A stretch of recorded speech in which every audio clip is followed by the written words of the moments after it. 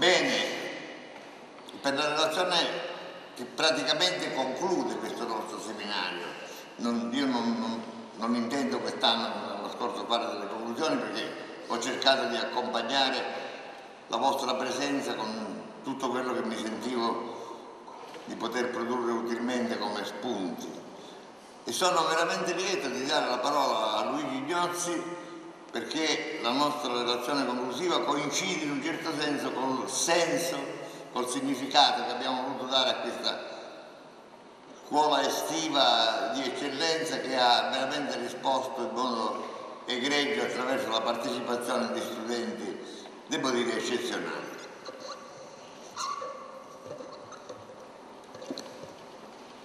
Allora, come già preannunciato, eh, questa mia questo mio piccolo discorso, è intitolato Viva la Resistenza.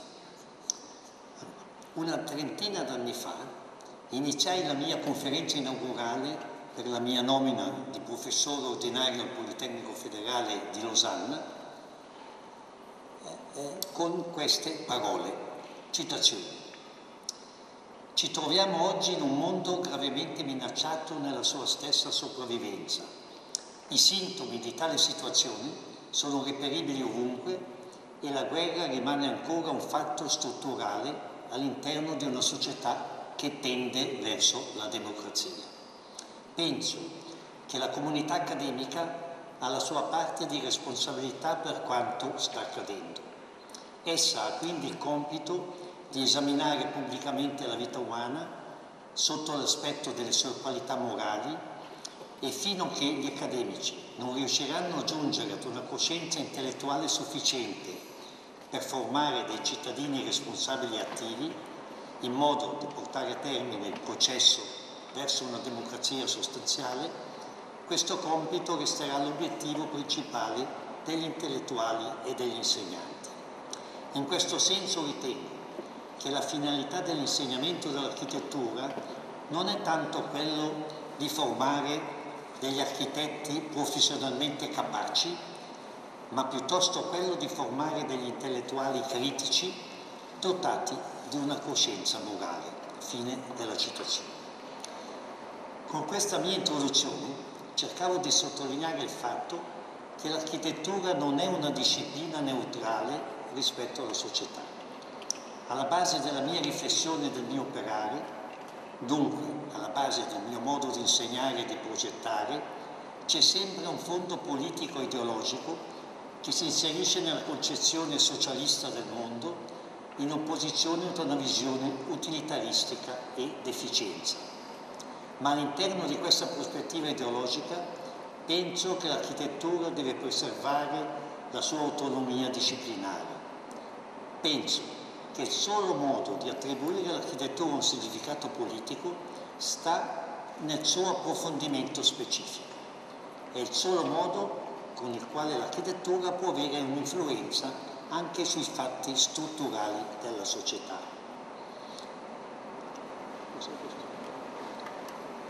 Varie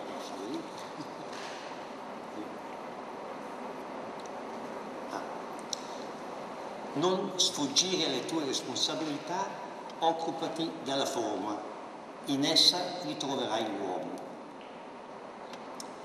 Se non attribuisco al progetto d'architettura un ruolo politico diretto, mi oppongo a qualsiasi tentativo di separare l'impegno disciplinare da quello politico.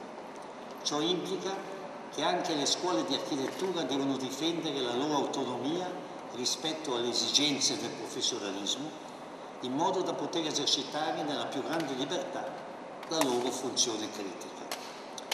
Ho cercato di riassumere questa problematica per i miei studenti con il seguente schema. Continuo a fare lì,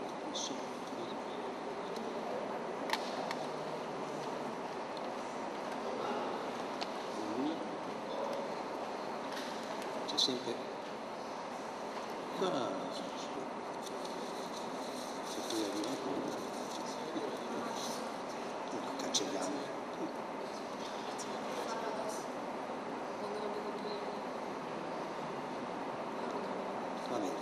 Grazie. Allora, su questa tabella, a sinistra eh, c'è il titolo architettura, dall'altra parte società e politica. Sotto architettura leggiamo l'architettura tende verso il permanente e non verso l'effimero. Società e politica tendono verso l'effimero e non verso il permanente. Sotto architettura c'è ancora scritto per sua natura è anti-efficiente la società e politica sono alla ricerca della massima efficienza. Se dovessimo tentare di elencare da una parte e dall'altra di questa tabella una serie di rinomati architetti attuali, vedremo che la maggior parte dei grandi nomi, oggi più riconosciuti e quasi sempre richiesti per le grandi opere pubbliche, sono organici e funzionali alla società attuale, il cui valore primo è il consumo mentre avremo una certa difficoltà ad elencarne sotto architettura. Da questo semplice schema, messo alla sua correttezza, si deduce che un architetto non può che trovarsi che in una posizione di resistenza alla società attuale. Un altro tema centrale della mia attività sta nel rapporto uomo-natura. Ho basato gran parte del mio insegnamento su aforismi scritti nel 73 per i miei studenti del Politecnico di Zurigo di cui ne citerò alcuni, ma prima vi propongo due aforismi non miei, il primo di Carlo Cattaneo e il secondo del mio amico premio Pritzker Paolo Mendes La Rosa, architetto brasiliano, che riassumono in modo chiarissimo quale può essere il rapporto tra architettura e natura. Di Carlo Cattaneo. Una regione si distingue dalle selvagge in questo che ella è un immenso deposito di fatiche. Quella terra dunque non è opera della natura, è opera delle nostre mani, è una patria artificiale. Più drastico e al limite blasfemo quello di eh, Mendes la Rocha. La natura è una merda la mia illustrazione questa.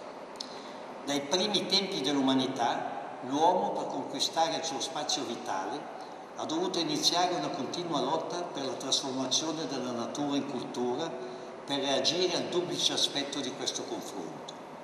Se da una parte la natura gli fornisce tutti gli elementi indispensabili alla sua sopravvivenza, dall'altro lato essa gli si oppone con tutte le sue forze ostili. La città rappresenta oggi l'ultimo stadio di questo confronto, per cui essa può essere definita, o da me definita, come la patria naturale dell'uomo.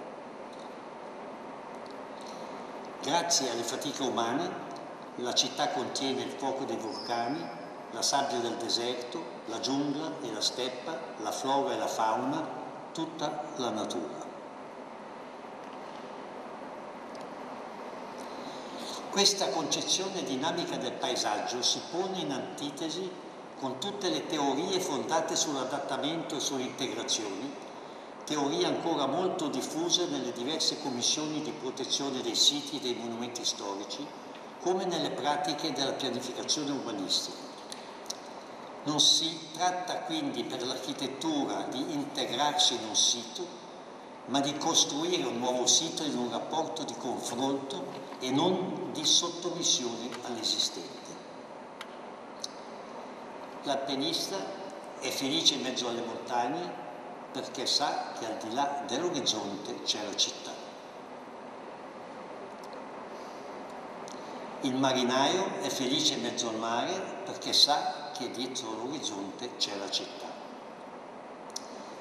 Quando noi parliamo di città pensiamo inevitabilmente alla città storica, Essa rappresenta ancora oggi l'avvenimento urbano più significativo. I due concetti, città storica e architettura moderna, sono indissociabilmente legati. Senza l'architettura moderna, la città storica perderebbe ogni significato. Essa partecipa attivamente al progetto della nuova città. La storia diventa così materia fondamentale per l'architettura. Una buona analisi è già progetto. Questo lo dico particolarmente qui in Italia, no? perché in Italia nella scuola architettura non si fa altro che analisi, no? No? da mattina a sera. Contro una visione consumistica del mondo è necessario cercare nuove soluzioni che possono riproporre in termini di architettura dei valori oggi alienati.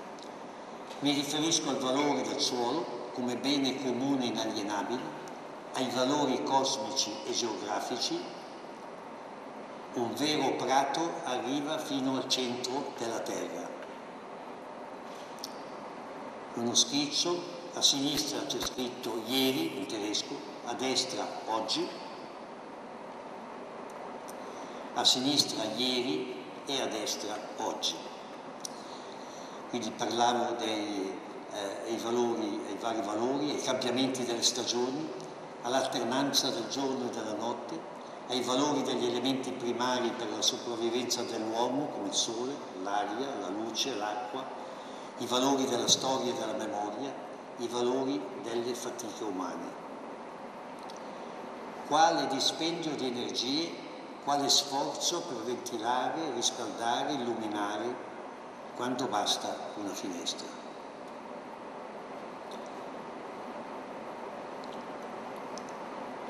Ogni intervento presuppone una distruzione. Distruggi con senno e oggi aggiungerei e con gioia.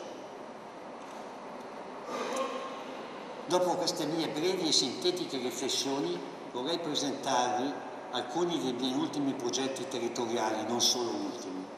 Ciò che li accomuna è la ricerca di una concreta risposta ai tempi lunghi di evoluzione della città e al problema della diffusione incontrollata della città attuale, la cosiddetta città diffusa.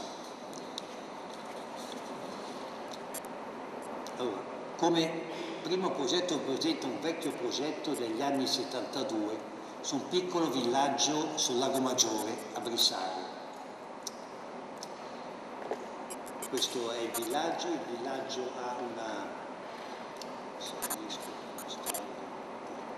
c'è un piccolo viale che attraversa il viale, qui è il villaggio, una parte il villaggio,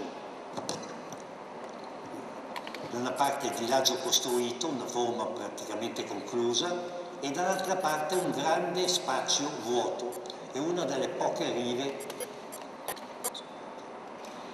lo vedete qui in, in, immagine, questa è un'immagine degli anni 30 in cui non ci sono ancora gli interventi più eh, disastrati che sono stati fatti negli anni 60, però si vede bene il villaggio da una parte, il villaggio qui, e dall'altra parte questo grande spazio vuoto in cui solo in questo punto c'era una volta una fabbrica che è stata poi demolita negli anni 30.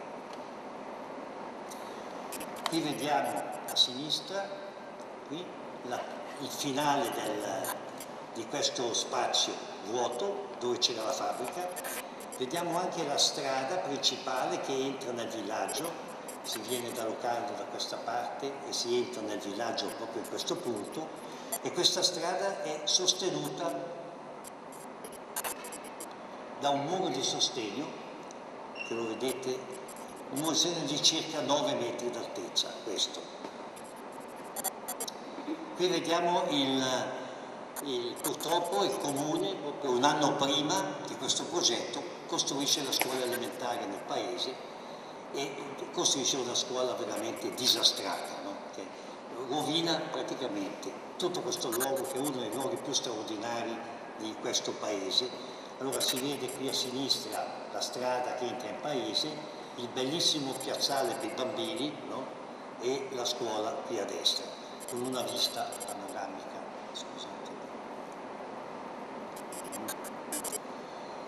Vista dal basso si vede il riale, a sinistra che è interessante, scusatemi, a sinistra qui interessante è questo muro di sostegno di pietra di una vecchia villa che è stata distrutta no, negli anni 70 o prima di questo progetto, nello sfondo la scuola costruita dal comune e a destra ciò che è interessante, che tutti i muri di sostegno costruiti dai bravi ingegneri diplomati al Politecnico di Zurigo, una scuola prestigiosa, no?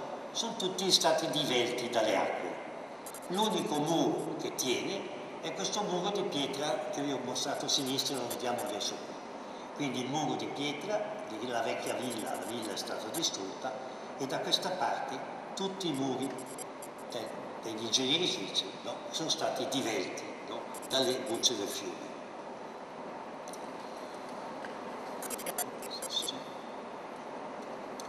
Qui vediamo il, questo progetto è nato, io ero membro di una commissione che già il nome è un, è un, programma a sé stante, che si chiama Commissione eh, Cantonale del Canton Ticino, che si chiama Protezione delle bellezze naturali, come se di bellezze naturali ce ne fossero ancora. No? Quindi già il, il titolo è un programma a sé stante. Questa commissione ha il compito di esaminare tutti i progetti che entravano sul territorio ticinese dal punto di vista paesaggistico, il rapporto col paesaggio. Allora, a sinistra vedete il progetto che la Commissione amava moltissimo perché è stato redatto secondo gli indirizzi dati dalla Commissione. Quali erano gli indirizzi dati dalla Commissione? Allora, primo indirizzo, gli edifici, scusate, gli edifici non potevano essere costruiti sulla riva del lago, dovevano essere costruiti dietro la riva, no? distanti dalla riva.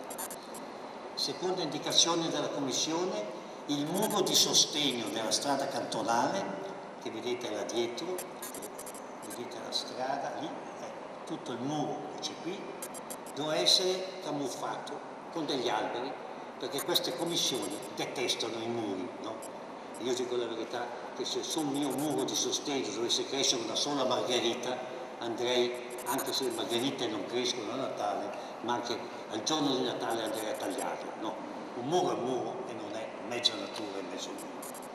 Poi la Commissione chiede anche che gli edifici devono avere una facciata verso il lago di massimo 20 metri di larghezza per far sì che dalla strada cantonale, sopra, dalla strada dietro, ci siano dei punti di, eh, di vista sul lago, no? per permettere i punti di vista. Poi, per inserirsi col paese, ogni eh, edificio deve, deve, essere molto articolato in pianta e in alzato.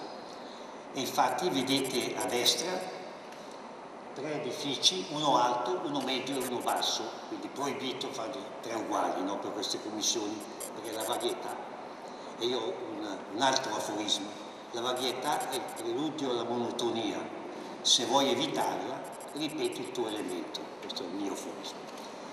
Poi l'altro, eh, dato era che la Commissione diceva che i posteggi, qui c'era una strada che aveva proposto il Comune, il Comune aveva diviso il grande terreno che era tutto proprietà del Comune prima, lo divide in due parte a sinistra della strada in giallo, no?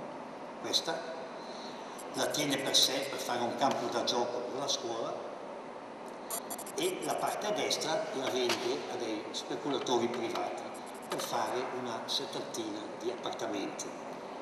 Questi erano i dati della commissione.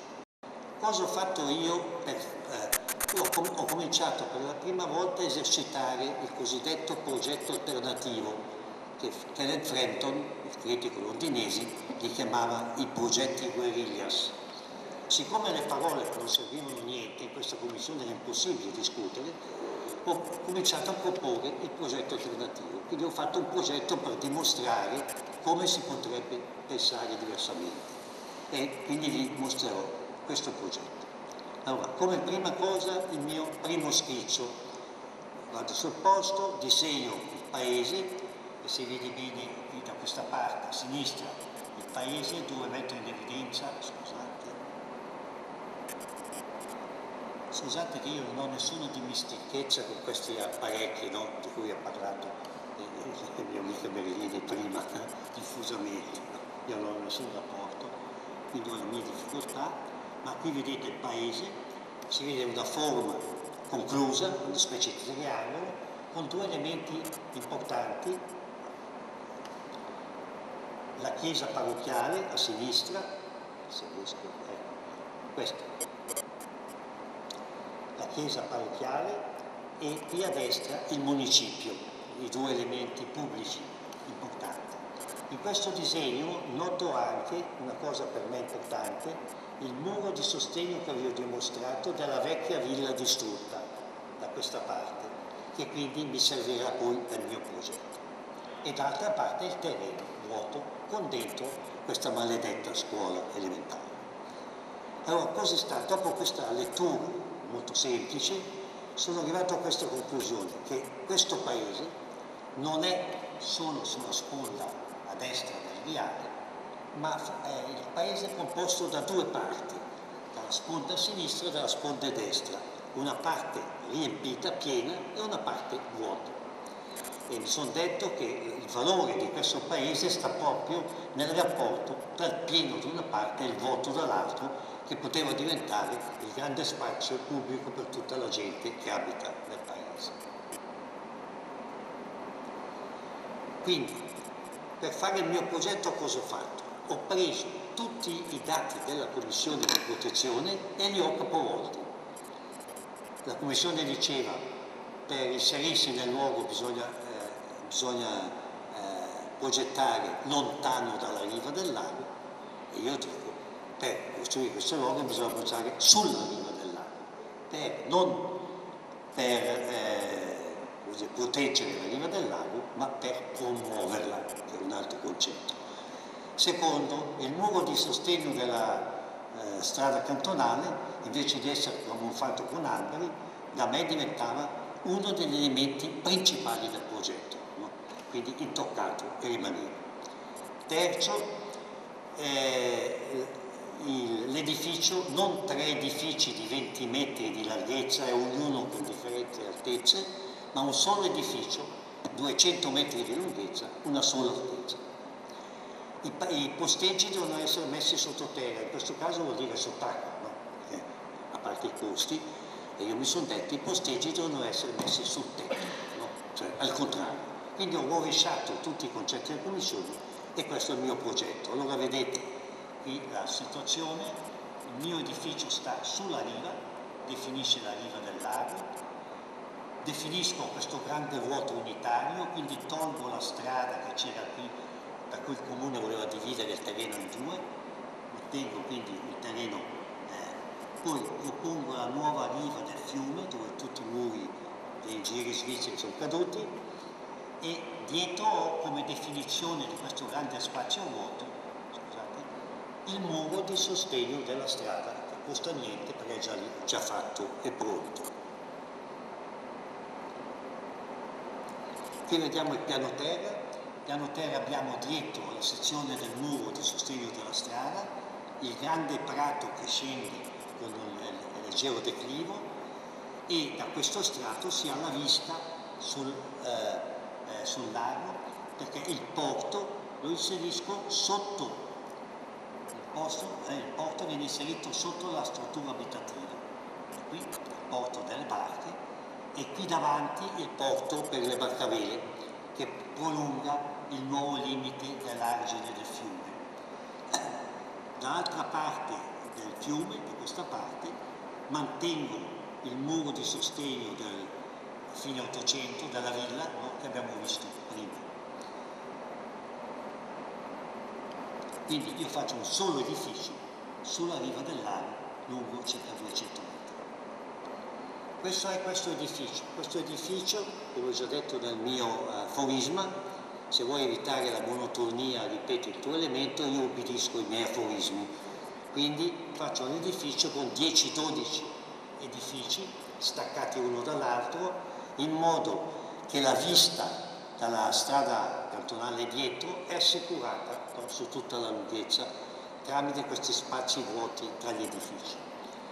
Questo edificio riprendo eh, la, in fondo la tipologia della d'habitation Le Corbusier a Marsiglia, è un edificio di tre piani, il piano intermedio ha un corridoio che in questo caso non è chiuso perché si entra in un corridoio e poi ogni volta che uno va nel suo appartamento ha la visione della montagna, del lago, dell'acqua sotto, eccetera, quindi conosce tutto il territorio e quindi eh, ripropongo questa, eh, questa tipologia.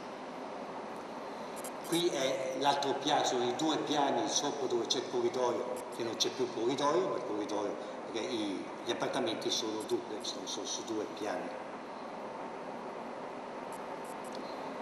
E alla fine c'era il problema dei posteggi. Ho tolto la strada che il comune prevedeva, ho fatto un piccolo ponte che vedete qui, pochi metri, e entro sul tetto dell'edificio e metto il parcheggio nella parte più importante del terreno il posto più bello di tutto il terreno, quel posto lì dove si vede dal, dalla Svizzera fino all'Italia, ha una vista straordinaria che abbiamo sul lago Maggiore. Ora, secondo me, molti miei progetti è proprio il tema posteggio che dà la soluzione al problema, quasi sempre. E sono sempre molto interessato ai posteggi, prima di tutto perché amo profondamente l'automobile, no? Io lo trovo un, uno strumento straordinario per, no, per che l'uomo possa uh, muoversi. Oggi detestato da molti, tutti lo usano, ma tutti ne parlano male, io ne parlo bene. E quindi il problema, una volta quando si arrivava in una villa, penso alle ville palladiane, si arrivava con la carrozza no, nel parco davanti alla, alla villa. E facciamo la stessa cosa, chi arriva con l'automobile arriva nel posto più bello, vista dappertutto, vede le montagne da una parte, il lago, eh, vede l'Italia, vede la Svizzera e lì si lascia la macchina. Dalla macchina ci sono tre punti, no? I tre punti rossi sono elementi verticali cui si può scendere con, la, eh, con le scale eccetera per arrivare agli appartamenti o introduco anche una passeggiata proprio davanti all'edificio, questa qui, qui davanti, che è una passeggiata per i pedoni pubblica, no? che conduce poi a un altro elemento verticale per attraversare poi il Riale in fondo un nuovo ponte per attraversare Riale. Qui vediamo eh, in alto, vediamo una sezione dell'edificio, questo edificio a tre piani, il corridoio centrale, i posteggi in alto, sotto vediamo il terreno una lieve pendenza e da questo terreno si ha la vista sul lago e qui è dove l'edificio ha solo, eh, dove c'è il corridoio centrale, dove c'è la vista totale dalla strada sul lago, no? in questi punti e sotto vediamo una facciata e questa facciata di questo edificio serve anche a mettere in evidenza mettere in evidenza il municipio che sta dall'altra parte del fiume, scusate qui, quindi questo elemento teso lascia la trasparenza del, del giardino dietro, in verde, e mette in forza il municipio. E questo è un modello di questo progetto. Come secondo progetto un'esperienza che ho fatto in Germania, a Braunschweig, mi avevano chiamato là un certo professor Ostertag per fare un corso di tre giorni eh, e dovevo dare un tema ai suoi studenti per tre giorni, un corso breve. Cosa ho dato come tema? A sinistra la città, il centro della città di Braunschweig e come sapete in Germania, finita la guerra, i, gli alleati bombardano i centri no, eh, storici eh, di molte città tedesche no, come vendetta e quindi bombardano anche la città di Braunschweig, il centro. A destra vediamo, il, a sinistra il centro com'era, a destra il centro il giorno dopo, questa è la realtà. Sul terreno rimangono 40 milioni di metri cubi di detriti e eh, sono in piedi ancora alcune rovine no, di chiese eccetera. Cos'era la mia richiesta? In tre giorni ho chiesto agli studenti di proporre la ricostruzione del nuovo centro di, eh, di Braunschweig dalla scala da 10.000 fino all'1 a 1. No. Il professore reagisce e dice che in Germania le, le scuole d'architettura, c'è la scuola di architettura e la scuola di urbanistica, questo è il lavoro di urbanistica, non è il lavoro di architettura, eccetera, quindi rifiuta il mio il, il, il, tema che avevo dato agli studenti, allora cosa ho fatto? Ho dovuto dare un altro tema e alla sera in albergo, avevo due sere d'albergo, ho dovuto tentare se si poteva dare una risposta a questo, eh, no? A questo pensiero un po' folle eh, di questa eh, idea e dimostro quindi il progetto che ho fatto in albergo.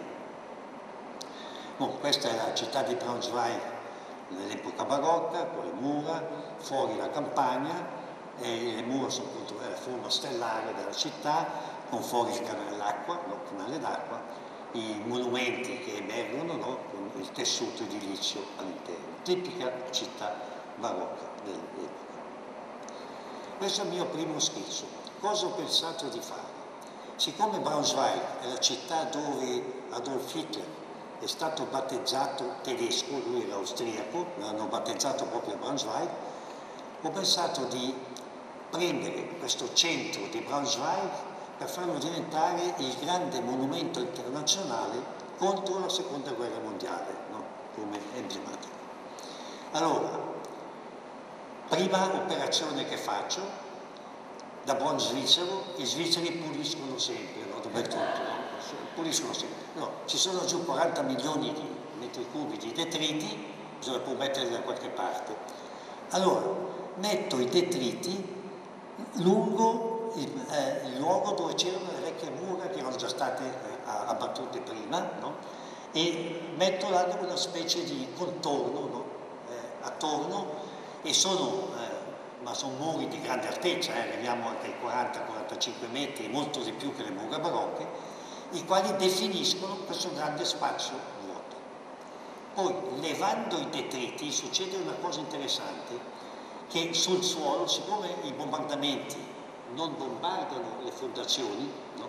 le parti sottoterra, allora levando i detriti cosa si fa? Si fa un rilievo, si ha un rilievo in scala 1-1 che chiedevo, preciso, di com'era la città medievale, cioè tutto là, no? il disegno cioè, mediale è sul suolo. Poi, dove metto il nuovo centro di Braunschweig? All'esterno. Qui all'esterno densifico i quartieri attorno e riempio no, una città molto densa dove ogni strada principale che riprende i ponti, no, i vecchi ponti di Braunschweig, entra in questo grande vuoto. Vi dicevo finalmente una città europea dove al centro non c'è né Coca-Cola no, né, eh, né, cose, né banche, eccetera, ma finalmente il vuoto, il grande silenzio no, per pensare no, a quello che noi europei abbiamo combinato. Qui vediamo la, una sezione, anche qui come a Brissago fuori i nuovi quartieri, il pieno contro il vuoto interno, il vuoto interno, si vedono le rovine che mandano in piedi in nero e le mura che contornano attorno il canale e i ponti di entrata che riprendono i, i vecchi ponti della città. E qui un modellino di pastelina che avevo fatto lì in albergo, in cui si vede l'idea fuori la, la nuova città, le mura che contengono la vecchia città di Braunschweig e sul piano, leggete come a Pompei, il rilievo di tutta la città storica in scala 1-1, precisissima perché è la realtà. Questo lascio via se non diventa troppo lungo. Qui c'è un piano di protezione del parco dei Colli Uganei a Padova. Allora vediamo la sezione Venezia qui, qui è Padova, qui è, come si chiama la città?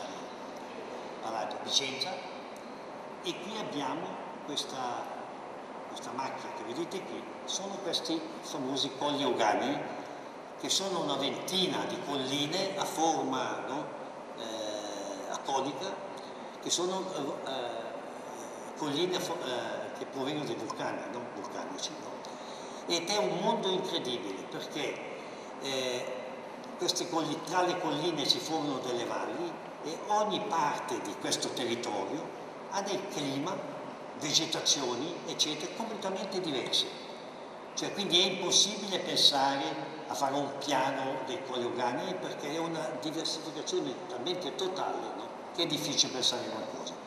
Io sono stato chiamato lì perché avevano dato a degli architetti italiani di fare un piano per proteggere questi colli e la popolazione ha poi reagito circa dieci anni prima, ha poi reagito perché la popolazione voleva costruire i colli e questo piano impediva qualsiasi costruzione, permetteva solo, e quello si fa solamente in Italia, di costruire queste stupide imitazioni delle vecchie case, i vecchi tetti, questo era possibile, altro non era possibile.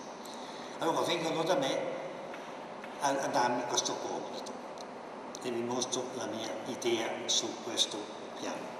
Allora, a sinistra era il concetto del piano primitivo. Il piano primitivo cosa faceva? Contornava la base dei colli, all'interno dei colli praticamente proibiva tutto tranne imitazioni nelle vecchie case il mio concetto al centro.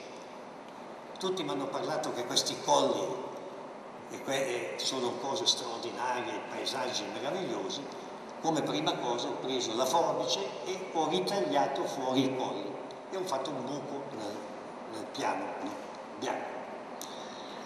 E quando l'ho presentato ho detto a me i vostri colli non mi interessano, no? ma se è vero che i colli, come dite, è il vostro monumento, io penso che ogni monumento deve avere uno gioco, supporto, no? deve avere una base fondamentale. Io mi interesso alla base dei vostri colli e non mi interesso di questi colli, no? per cui è nata questa. Per quanto riguarda invece i colli in sé, avevo detto non faccio nessun piano perché se si volesse costruire sui colli bisogna fare almeno 30 piani regolatori, non uno, perché ogni zona è talmente diversa dall'altra che bisogna diversificare, per cui non ho fatto il piano. Questa è la mia idea, i colli, il grande monumento, prima idea, si fa la base, non si contorna, no, il centro del monumento è la base. E mi sono, come spesso, mi sono sempre venuti in aiuto i romani, sono un grande amico dei romani, mi hanno sempre aiutato, no? qui mi aiutano due volte. Cosa hanno fatto i romani? Questi sono i colli, al centro, i romani, un lato di questo angolo che avete lì era il famoso, lo mostro forse prima meglio, c'è un canale, Brenta, che parte da Venezia, 1120 mi pare dei Romani, costruito dai Romani, che parte da Venezia, va a Padova, poi allunga i colli da questa parte, a sinistra, no? allunga tutti i colli e si arriva quindi oggi ai colli Ugani con i battelli e ci sono i porti anche, no? per Abano Terme, no? le città che sono lì sotto. Questi sono i Romani. Per cui io non faccio altro che recuperare l'idea dei romani, con questo lato fatto dai romani, estendo l'idea dei romani attorno ai colli per creare questo gioco. E io lo pensavo come un grande tappeto, un tappeto alla Paul Klee, lo immaginavo, che lo stendo sotto i colli no? per dar valore ai. Sui colli non lascio fare niente, blocco anche l'ampliamento dei piccoli villaggi come Abano Terme, eccetera, che ci sono alla base dei colli, ma propongo che dove ci sono i porti, li vedete lì no, disegnati, all'esterno del, del, rettangolo faccio, eh, propongo delle grandi aree per l'ampliamento delle città che stanno all'interno all'interno di questo rettangolo recupero un altro elemento dei romani, le centurie romane, che ce ne sono ancora diverse, e quindi propongo le centurie. E lo vedete qui nella realtà, eccetera, il progetto con le centurie e i colli come monumento. Questo era poi l'elemento definitivo, si legge qui a Badoterme all'interno e fuori queste aree no, dove possono perché volevano fare un centro turistico a livello internazionale, così da questo punto qui i colli praticamente non toccati devono diventare l'elemento di riferimento per tutti gli alberghi eccetera e in queste zone esterne al canale si potevano costruire anche grattacieli, quello che volevano, no?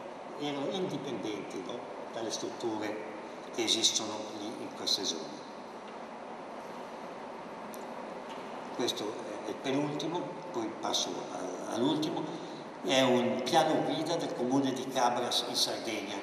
Bisogna dire che in Sardegna, quando c'era, è stato destituito no, per via del ah, Berlusconi, dopo, il Soru, che era il capo della Sardegna, e Soru aveva eh, preparato una legge, una normativa, esiste ancora oggi, per proteggere le rive di Sardegna.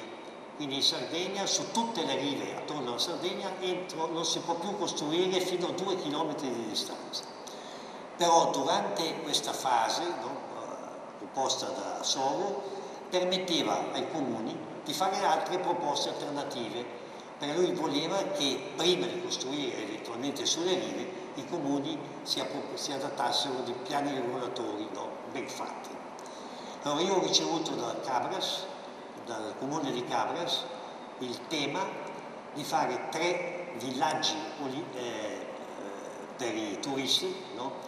in, su tre terreni, li vedete qui in viola, che sono a poca distanza dal mare, il mare è qui bianco, no?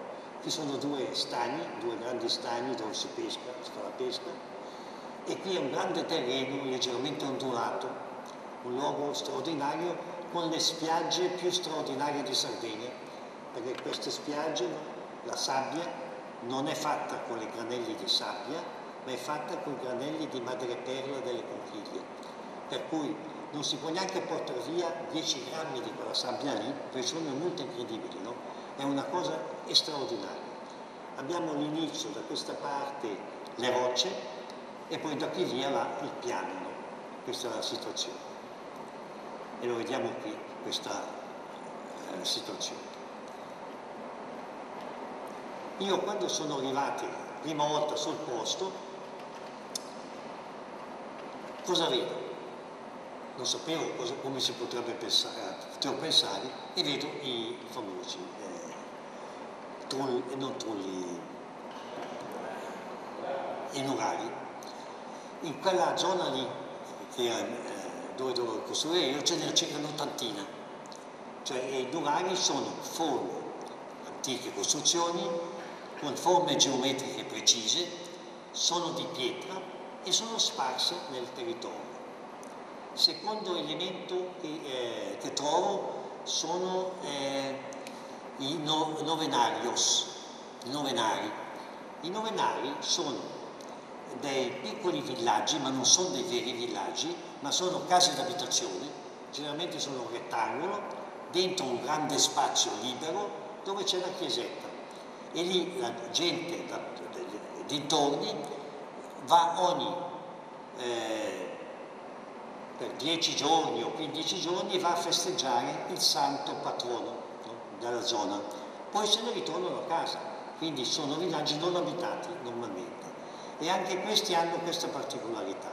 Sono, hanno forme geometriche precise, sono di pietra e sono sparsi nel territorio. Qui a Cabras ne ho trovati due. Terzo elemento, le chiese romaniche. Le cose più straordinarie in Sardegna sono chiese romaniche che non sono tanto nei paesi, nei villaggi, sono fuori, mentre questi spazi così delle montagne veramente straordinari. E queste chiese hanno forme geometriche precise, sono di pietra e sono sparse anch'esse nel territorio. Alcune di queste stupende, meravigliose. Il quarto elemento che trovo sono le torri di controllo delle rive del mare dei genovesi 1500, anche queste cilindri, quindi forme geometriche precise, di pietra e sparsi lungo la riva. Quando ho visto questo territorio mi sono posto la, eh, la mia domanda, perché io quando faccio un progetto mi pongo sempre, cerco sempre di arrivare a una sola domanda. Se arrivo a tre o quattro domande ne riduco a una. E qui la mia domanda è stata questa. Bisogna riuscire a fare questi villaggi in modo da continuare questa tradizione no, di sarda cioè devono essere in ogni caso di pietra, devono avere forme geometriche precise e devono essere sparsi sul territorio. Cioè introduco quindi in questa lunga storia no, eh, sarda un quinta, una quinta fase di questa storia con i villaggi turistici, ma recuperando no, le caratteristiche di questi elementi. E così ho fatto. Questa è la pietra, questa è Santa Maria Sinis. Questa è l'idea del progetto. In rosso vedete le mie proposte per i villaggi, ne ho proposti anche due in più, uno su uno stagno e uno sull'altro stagno. No? Non ci sono strade oggi in questa zona qui, però d'estate è pieno di bagnanti e è uno dei grandi problemi che c'è, che non ci sono strade, ma ci sono almeno 10.000 macchine che girano dappertutto, è un disastro totale, perché le pecore sono ordinate, perché quando eh, a sera le pecore portano, le portano nei recinti di pietra, no? mentre le macchine sono e sono un disastro totale. Per cui quando ho fatto questi eh, progetti, questi eh, villaggi, il primo contenuto che ho pensato era il avanti. Ho fatto anche una strada che non c'era per arrivare a questi villaggi. Qui vediamo il territorio, eh, davanti qui è la zona delle rocce, mentre proprio là comincia, dove comincia la pianura, è proprio in questo punto che crea un porto, perché per il villaggio turistico hanno bisogno anche del porto. E qui vedete com'è la riva uh, più ad nord di questo territorio. Poi in più su questi miei terreni ci sono già le pietre, ci sono già le cave di pietra con già le pietre intagliate, bisogna solo levarle no? per costruire, quindi tutto era pronto, quindi sono formidabili queste, no? queste miniere. E un'altra di nuovo, sono proprio lì dove noi costruiamo, c'è solo da prelevare e costruire.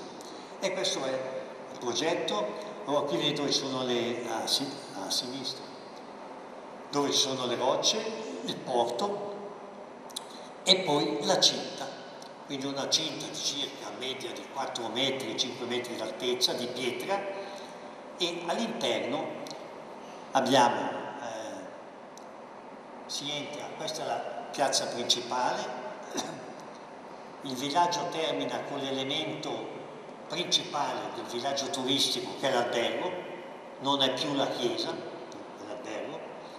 grande piazza, poi le abitazioni, per eh, proporre le abitazioni, scusate, ah, qui le abitazioni, riprendo il tema dei novenari, le abitazioni sono qui da una parte e dall'altra, in mezzo a un grande prato, non faccio la chiesa perché la chiesa ce l'ho qua l'albergo in fondo. Poi la zona sportiva, campi sportivi eccetera, e poi arrivano i posteggi. I posteggi li ho pensati, li chiamo le oasi, le oasi, è un palmetto, sono palme, sotto le palme si posteggia e poi tramite dei, eh, delle strade si scende sotto il terreno, no? si, si, si scende qui si, sono gli spogliatoi eccetera per chi va a fare il bagno, lasciano la macchina e qui scendono a piedi, circa 200 metri, al mare. No? Quindi tutte le macchine adesso sono all'interno del muro. Alla fine da questa parte c'è il centro culturale, cosiddetto eh, eh il teatro aperto, eccetera, che recuperiamo dagli elementi delle cave che c'erano lì prima. Ecco, qui vedete o meglio uno di questi piani di questo villaggio. La sezione a sinistra l'albergo che è l'elemento naturalmente è la nuova chiesa prima erano le chiese che marcavano il paese qui è l'albergo e, e, il signor Soro mi aveva dato come altezza massima no? 6 metri e mezzo e io ho fatto finta di non aver capito la cifra, ho tolto la virgola e ho fatto 65, no? Tanto per cambiare, no? 65 Poi qui si vede la piazza e qui si vede i novenari, no? I miei novenari, questo a, a destra. lo spazio no, dei, dei, dei, delle abitazioni con alla fine il grande albergo. Qui era un, un campeggio che domandavano fatto con lo stesso principio e vista dal mare. Dal mare questa idea che trovo interessante a, a sinistra, no? da questa parte vedete l'albergo no? come elemento verticale che fa parte del muro di cinta. Poi il muro di cinta ci mette in evidenza le differenze del terreno, è lui che ci spia e no, ci racconta di come è fatto quel terreno lì, introducono orizzontale, il terreno sembra orizzontale ma non lo è. I posteggi dal, dal mare diventano gli elementi che marcano, no, gli elementi che eh, escono no, da, dalle mura, escono dalle mura il, il Palazzo dei Congressi, quello rosso a destra, e escono dalle mura anche il piano superiore, il primo piano delle abitazioni, in modo che chi abita anche la possibilità di vedere al di fuori delle mura. Naturalmente questa idea di questa grande murata è anche un'idea eh, climatica, perché io quando sono, tutti mi hanno parlato della meraviglia di questo luogo, io quando sono arrivato su questo luogo era il luogo d'inferno, un vento incredibile, no? spaventoso, eh, impossibile da starci, no? per cui il primo pensiero era proteggere l'uomo da questa maledetta natura? Quindi è sempre il principio, no? contrastare questo, eh, questo evento. E finisco con l'ultimo progetto, che è un progetto un po' particolare, è la metropoli d'Olanda. Io sono stato invitato con eh, Paolo Mendes La Rocha e con eh, eh Siriani, architetto francese, di far cosa? Di esaminare i piani, i progetti che gli olandesi avevano preparato negli ultimi dieci anni sull'idea della nuova metropoli d'Olanda, perché sono accorti che queste città olandesi no, crescono e sta diventando una metropoli e vogliono anticipare no, le regole per la metropoli. Dobbiamo esaminare. Io come sempre ho portato il mio progetto Guerillas già in tasca, no? noi avevamo già preparato prima. Ad ogni modo siamo arrivati tutti e tre alla medesima conclusione che eh, hanno analizzato tutto quello che si può analizzare, tutto, migliaia di piani eccetera, persino pensate che quasi tutte le strade d'Olanda da gennaio a dicembre c'erano i piani dove e quante rane attraversavano le strade quindi c'è una pazzia totale, quindi una conoscenza in fondo del territorio totale su questi piani. E tutti e tre eravamo d'accordo però che da tutte queste analisi del progetto nulla, niente, no? sono rimaste analisi e basta. Lo dico volentieri sempre come prima, è qui in Italia, perché quello che si sta facendo qui. Si ha paura del progetto e quindi si fa analizzare, analizzare, analizzare, pensando che queste analisi portano molto. No, non portano molto. Va bene. Allora, questo adesso vi presento il mio schizzo, la mia idea. La mia idea è stata, prima cosa, le città olandesi sono nate attorno a un cerchio, il famoso cuore verde d'Olanda, lo chiamano, anni 30, è stata una decisione degli anni 30, eh, nascono attorno e guardano il mare, la gran parte, sono solo un paio verso l'interno e eh, quindi la prima idea che ho avuto è bisogna impedire che una città cresca sull'altra, prima decisione che ho preso. Quindi ogni città olandese, siccome ogni città è diversa dall'altra, no, bisogna no, eh, delimitarle e le delimitano con nuovi confini, quindi proibiscono l'estensione delle città con alberi. Il problema è che al centro d'Olanda non c'erano alberi fino agli anni 50 non c'era l'albero, perché dovevano far girare i mulini a vento per via del canale, perché il terreno all'interno è, è più basso del mare. E allora oggi invece di nessun albero ce ne sono 300.000, perché sono arrivati i nuovi pianificatori del centro Europa a piantare piante dappertutto, perché oggi è l'epoca della natura, quindi piante, piante. Allora io propongo di tagliare le 300.000 alberi d'Olanda dal centro no? e di utilizzarli per fare i limiti delle città.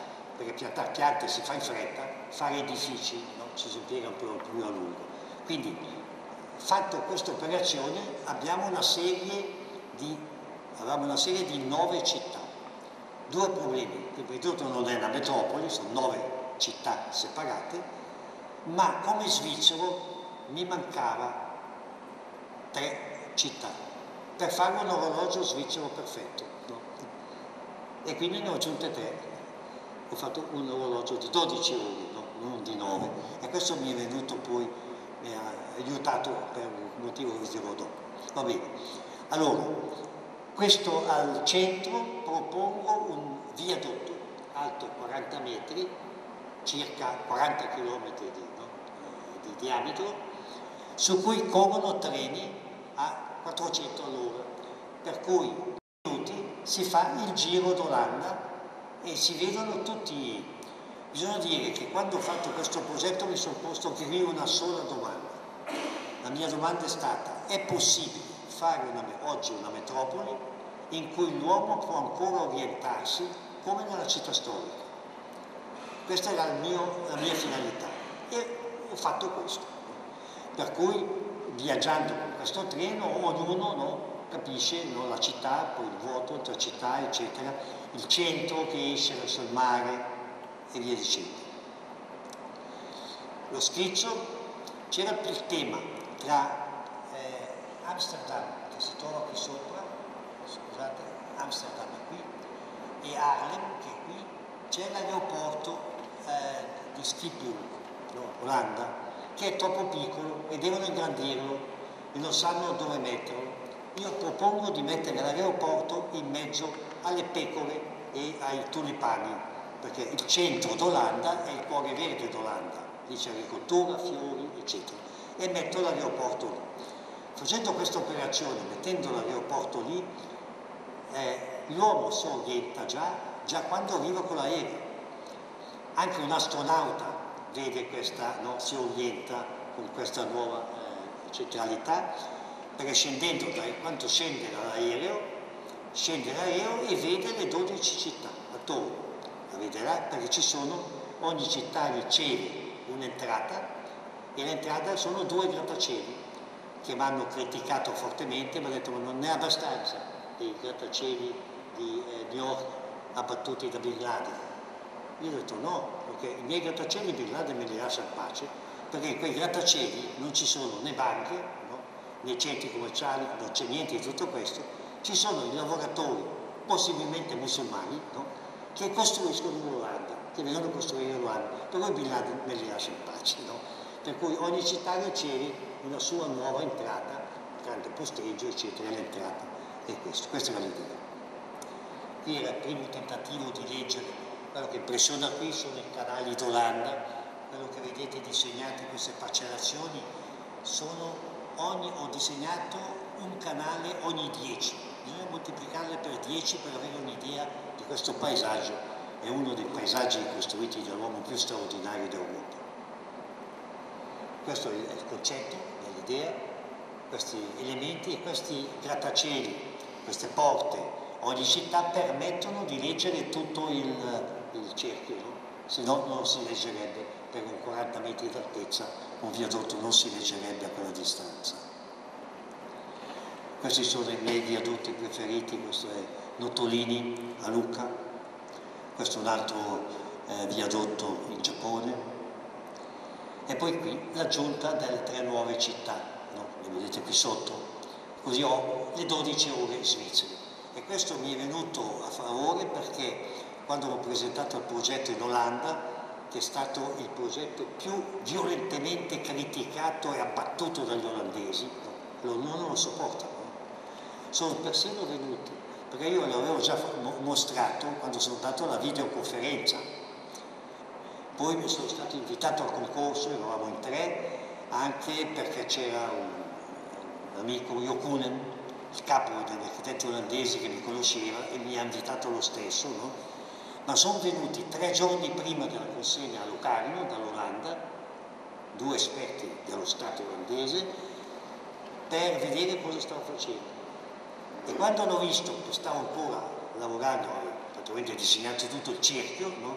addirittura di non andare neanche a cucinare, che era possibile. Se lo facevo un po' storto, il cerchio andava bene, ma guai un cerchio, no? perché i democratici oggi non sopportano la geometria no? eh, del cerchio. E va bene, e sono andato a presentare il cerchio e naturalmente mi hanno insultato, ingiuriato, mi hanno dato tutti i titoli, eh, di tutti i titoli che non ho mai ricevuto nella mia vita, mi ha dato del fascista, quasi del nazista, eccetera, che andavo a imporre all'Olanda no? un'idea no? eh, centrale. Vabbè. E questo è poi il piano generale. E poi, quando sono andato a presentarlo, no? ho, eh, c'è la mia carissima amica, Francesca è qui presente, che mi ha fatto venire un'idea bellissima. Detto, ma guarda che la bandiera europea è esattamente il tuo progetto, identico. Hai citato uno, il cerchio, no, il cerchio perfetto.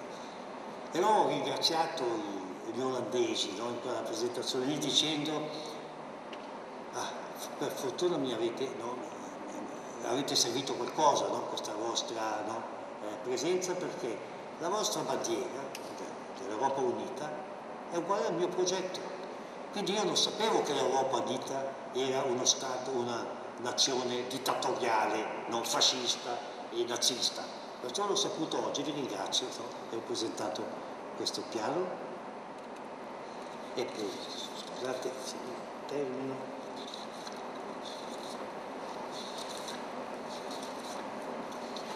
Allora, come abbiamo visto, tutti i progetti presentati, come anzidetto, tentano di dare una risposta sia ai tempi lunghi della città, sia all'estensione controllata della città diffusa. Gli urbanisti di oggi, consci del problema dei tempi lunghi dell'evoluzione urbana, ricorrono a due atteggiamenti. Il primo è quello di prevedere sulla base di ipotesi il probabile programma di sviluppo della città.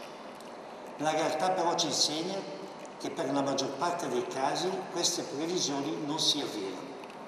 Davanti a questa realtà si ricorrono quindi al cosiddetto piano aperto, cioè un piano che permette alla città di muoversi diversamente da quanto previsto. Ma fatto ciò significa anche non prendere decisioni, perché il miglior piano aperto è l'assenza di piano che costa anche molto meno. Dopo, sull'estensione controllata della città non ci sono però chiare prese di posizione. A questi atteggiamenti contrappongo due risposte alternative. Sull'estensione controllata della città ritengo assolutamente necessario porre dei limiti di crescita spazialmente riconoscibili, riconoscibili a tutte le città europee. Al di fuori di essi, come nella città antica, la campagna all'interno di essi si propone la massima densificazione. E in risposta ai, ai tempi lunghi di evoluzione della città rispondo con progetti con i tempi corti dell'architettura, con progetti quindi compiuti. Si ha così la possibilità di valutare in brevissimo tempo la bontà della soluzione, senza dover attendere nei tempi lunghi l'efficacia o meno del piano. Il progetto deve essere in grado di permettere all'interno dei limiti stabiliti la massima flessibilità.